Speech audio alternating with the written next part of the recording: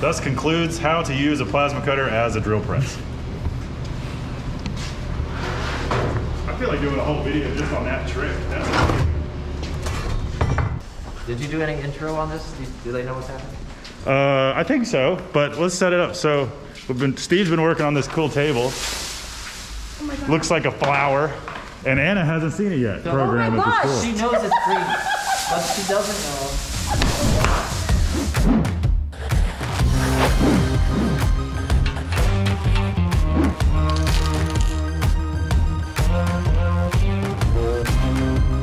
Hi everybody, welcome back to Lift Arc Builds. We got a short one for you this time. Uh, Steve has a personal project that he's working on that's really cool. So tell him about it. Here in town in Roanoke, uh, James Madison Middle School has this amazing uh, program. They have a garden program, and my best friend in life is is the champion of that program, and and we're building this for the center of the garden for the kids at the school to be able to bring the harvest over to the central table and work on it together to to take seeds or, or clean the produce or whatever they need to do. So um, she knows I'm building her table, but she doesn't know that the bottom's going to look like like this. I've made the base um, to look like a dogwood flower. And Which you did this before we yeah, this has been together. sitting around for a while. You can see it's rusty. I've been waiting for a couple of years to actually finish this project. I've had this parts waiting, but um, That's half inch steel. this half inch plate I cut with this little plasma cutter right behind me here. This little, Hypertherm this little yeah. Powermax 30, right? Yeah. Um, you can see all the dross here. yeah, right. Moving a little slow.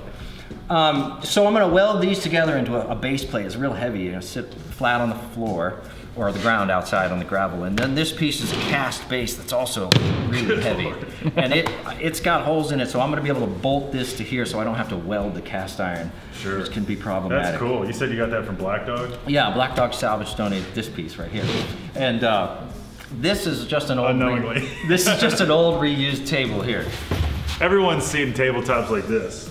Behind every everyone's grandparents' house. They- Yeah, right. On the, I inherited one from my grandpa, grandma that's just like this. The program tries to get the kids out into the garden so they're doing real life things with real things out in the outdoors and they get to know the soil and the plants and the weeds and the rabbits that live in there and you know Cool. it's, it's a great way to expose the kids to some nature and, and, and some real honest work that has real results. So I love the program and uh, I want to support it so I'm do- we're going to donate this table and hopefully it'll work for them. It also has to be wheelchair accessible, so this base sits flat on the ground so it doesn't obstruct the wheels. There has to be there's a there's certain amounts of uh, you have to have 19 inches this way from the center post, and it has to start at 28. So there's rules for the wheelchair accessibility. ADA rules. Yeah, so Yeah. we're gonna make it comply with that. Uh, Sure, that's awesome. But so, uh, also, it sounds like you were telling me earlier that it's really windy. So Yeah, it is really windy. We're gonna add a rim to that, so it's so the plants won't blow off the edge. Right. So you got to weld that together. Oh, and then we salvaged a uh, salvaged, reclaimed uh, four-inch galvanized pipe from Yeah, yeah. your old. I, I don't know what it was used for. yeah, I don't. But we're gonna cut a section of that pipe and, and drill and tap it so we can so we can uh, attach it to the base without welding again because I don't I don't know if I can weld on this too well. big cast thing. Yeah. Well, I won't get in your way. Yeah. It's uh, but we get to share it with you guys. So come along with Steve while he builds this super unique table out of reclaimed materials for a local school. Yeah. Enjoy the montage.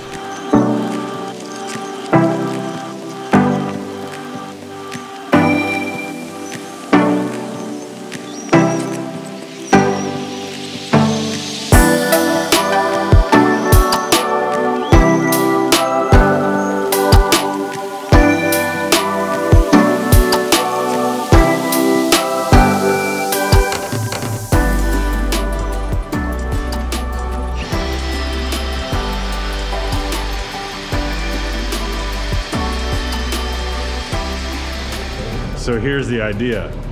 Drilling half inch steel is really hard. Steve already broke these, which I'm not surprised. These are cheap Chinese carbide cutters. We're gonna try to, Still in there, you can see the tube. you see, There she is. yeah. So we're gonna try to program a hole in the plasma software to just start it on the, to just start it on the center. Uh, which means dr- drawing a hole off of the plate on the origin. So let's try that. Better than drilling.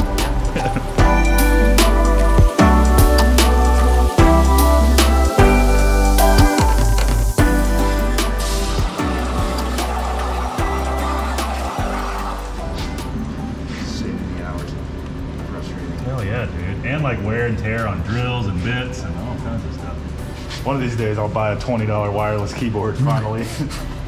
Drop it in the water. yeah, of course. Did you get the sparks raining off of Steve's face right there? My plasma towels. Thus concludes how to use a plasma cutter as a drill press.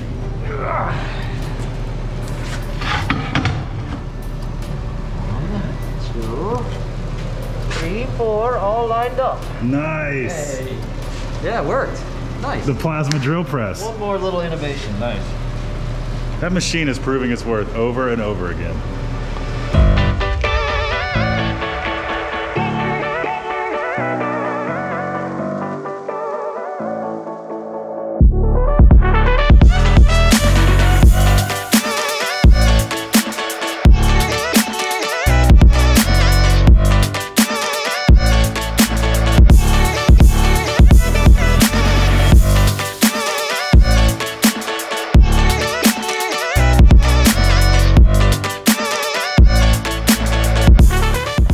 Guys still watching this video? Hang out with Steve while he finishes painting this thing. you just missed him drop something. Sorry.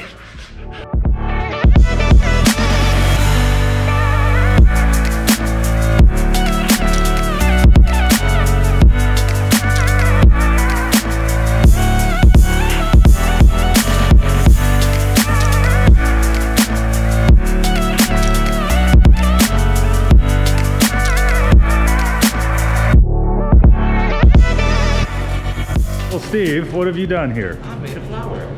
Wow, A very large dogwood flower that was turned upside down. cool. So this is how people will see it? Well, this will be the base. This Yeah, will be yeah. Under their feet. Those that aren't from Virginia, dogwood is our uh, state flower. So there you go. Quite appropriate. Springtime, Yeah. garden. I'm, I'm totally happy with that. That looks beautiful. There's the holes we blew out with the plasma. Yeah, I'm gonna. That's Oh, really forgot cool. To, I forgot to do these guys. Ah, I gotta do those little dudes in uh, green. green. Then you're ready for assembly. Yeah, because they go right here.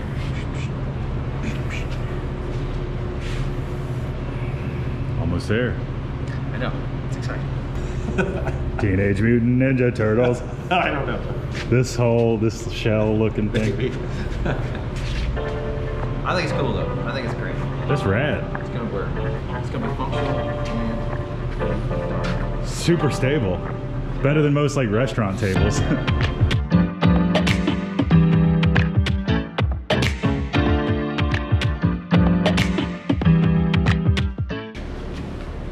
it's assembly time. Fool me once. ow, ow.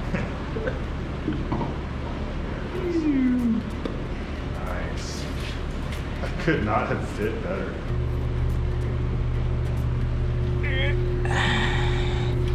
Teeny weeny set screws. Filming it with a teeny weeny camera. Yeah. All right, it's time to stand back and this thing that's been in my head for three years now. There it is. The dogwood table. I love it. What a thing. I mean, not many people smash a flower upside down. Yeah. It's like the table stomped on a flower. I know. I love It's like it did the uh, like Pixar lamp, it. Right. jumping lamp. Just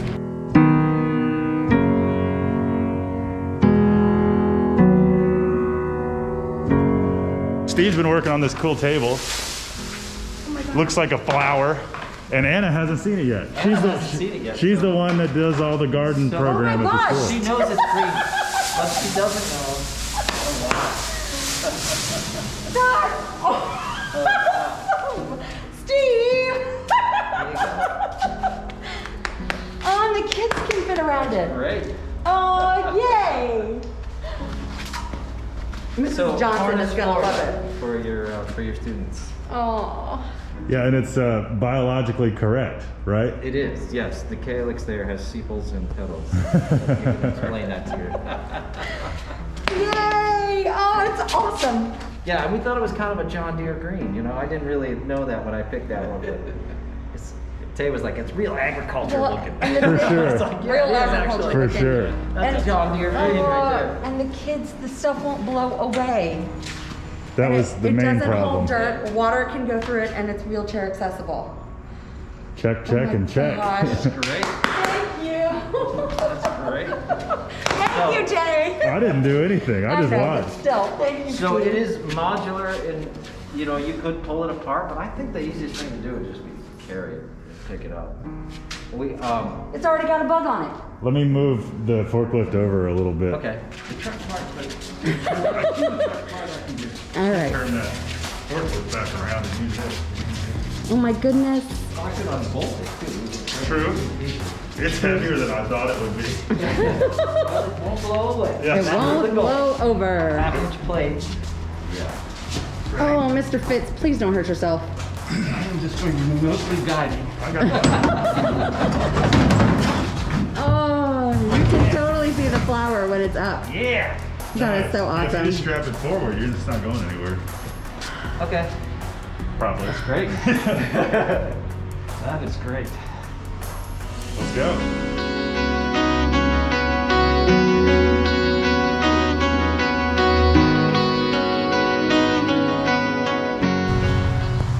How'd it ride? No, no movement that I could tell. Good. Look at this. This is a bigger uh, arrangement than I was picturing. We got a couple carrots.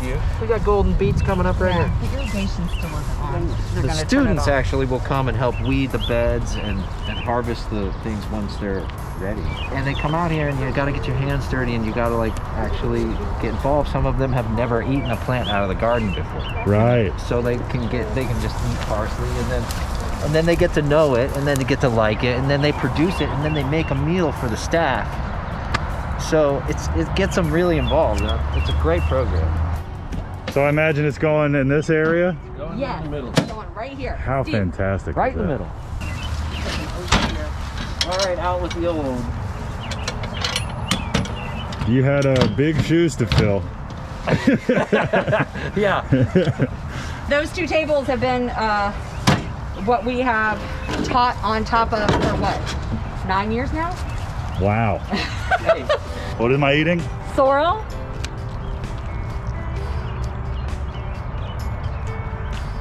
Whoa. it's like a time delay. Isn't it wonderful? That's fantastic. yeah, so that's the grazing bed, and the kids Wow. like love it. It's like actually got a good sour yeah, kick it's, how, to it's how you get kids to eat greens is you you start with sorrel. yeah. and you introduce it like that. Yeah. Do you like Sour Patch Kids? They call it sour patch leaf. Fit in as it is? It should. Oh my gosh.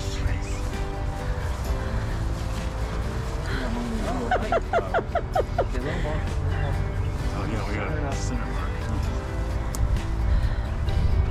Right, looks good Pretty good here. That's, that's gorgeous. Oh man, it looks like How about that? Shut. Yay, yay, yay, yay, yay. Yes, for those non-Virginia natives, that's our state flower, the dogwood. Uh, It's also our as rendered by Steve. Yeah.